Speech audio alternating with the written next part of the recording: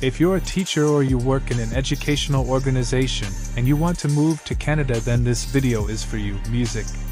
Hi everyone, if you're new here, welcome, and for returning viewers, I say big welcome back to you. Thank you very much for all your support on this channel. I appreciate you. One of the beautiful aspects about teaching in Canada is that there are numerous educational institutions and job opportunities to teach children and adults of valuable skills. The three top provinces to work in. Canada as a teacher are Ontario, Alberta, and Saskatchewan. In Canada, provinces and territorial governments operate their own schooling systems, and they are responsible for regulating teaching jobs in Canada. Although there are similar rules across the country, there are few local differences, and that depends on the provinces or territories that one wishes to migrate to. And so, here in this video, I will share complete requirements that you need to move to Canada as a teacher teacher certifications. Needed to apply for this process where you can get the certifications from how much each or the certification is what your approach should be after getting your certification likes or license as a teacher where to apply for teaching jobs and how much teachers can be paid in Canada and then other valuable or important documents and requirements that you would need as you watch please do well. Many people that's the way you can even help them if you don't have finance to do that subscribe if you're new here and say thank you very much for doing that and she's showing me support. And in turn on your post notifications so that you get updated when I post new videos as to how to migrate abroad. Thank you, teachers are considered as skilled workers in Canada. Yes, some people might be thinking. For federal skilled workers to moving to Canada, the first one is the highest level of education that you have, the second is your work experience. Then you your overall adaptability, all right, and your current state of employment and so if you're applied to Canada or to move to Canada as a teacher, you can also apply through a provincial nominee program or a PNP for a guaranteed invitation to Canada if you are actually fortunate and nominated by a province. So, what are some of the education level that you require to become a teacher?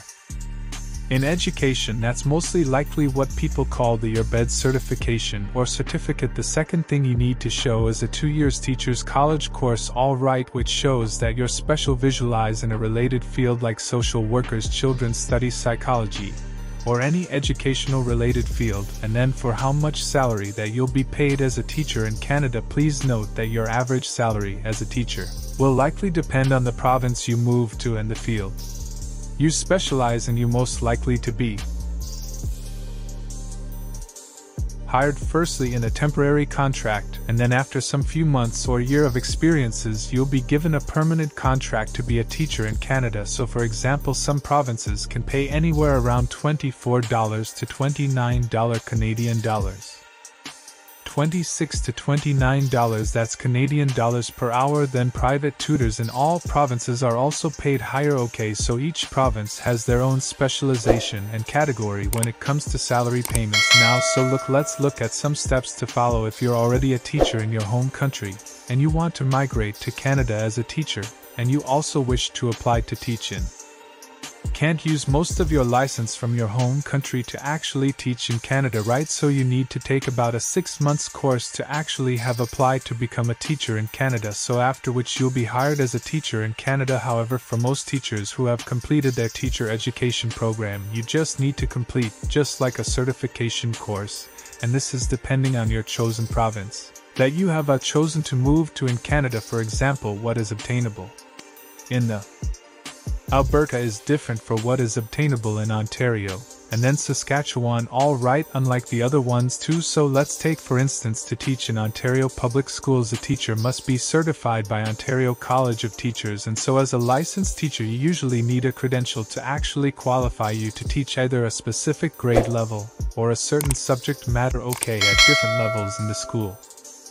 170 Canadian dollars so please take notes. Okay, also for a provincial teaching certification in Canada you will need to have at least 2 years completed bachelor's degree which you have already said and a student teaching course before applying for a certificate to your Department of Education or Teachers College in your own chosen province. Also to know that this can also be gotten or obtained from your own home country. So for people that have not gotten their teaching license this information I just gave is for you. So, but you have gotten a teaching license, you just have few things, a few certification to do before you move to Canada. So please take notes. Now let's look at credentials. Transcripts of your credentials will be will need evaluations, but not with the regular WES as WES that people use for PR. Alright, so if you're applying as a teacher, for example, to Ontario, your transcripts can be sent to the College of Teachers, which is called OCT in Ontario, right? So you just need to do what you need to do is just to instruct your university and they will arrange for how it can, can be sent. The transcript can be sent directly to OCT for evaluation before you move as a teacher to Canada. Alright, so the cost for sending your transcript to a OCT, that's the place the Teachers College in Ontario, costs around 762 Canadian dollars. Alright, so it may also be required to pass the teacher's certification exam. Probably later when you're done sending all your credentials you need to provide also a language proficiency test which is your IELTS OK, and so please note that the IELTS that you need to be writing is not IELTS in general, but IELTS academic test you also need to score a minimum of CLB 7 for that is Ontario province, so other province might have their own benchmark, but for Ontario I know it's CLB 7.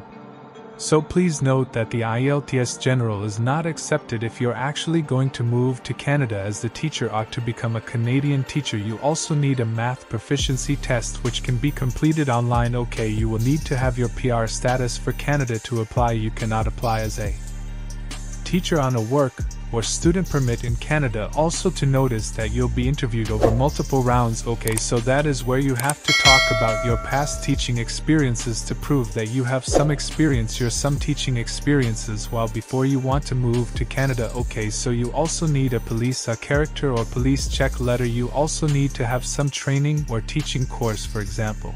At George Brown College in Toronto, also to notice that the teachers program differs in each proving so what you have in this pro province is different from what you have in the other programs, so you need to have actually uh, take out your time to make your research and then find out what is obtainable in the province that you want to move to as a teacher. So now that you have your teaching certification to become a teacher in Canada, what next? Now let's look at your approach on how to find teaching jobs in Canada.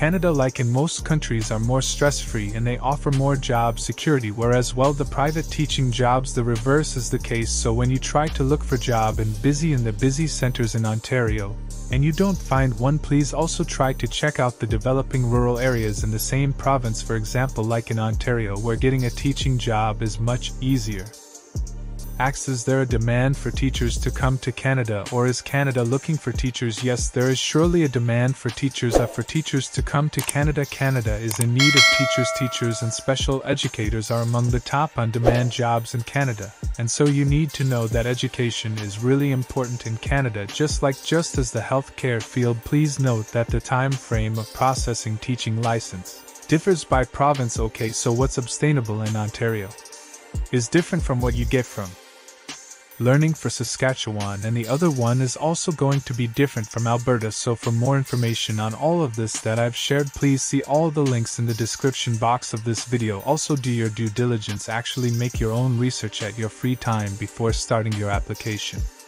So, like this video, alright, share with many people that need this information.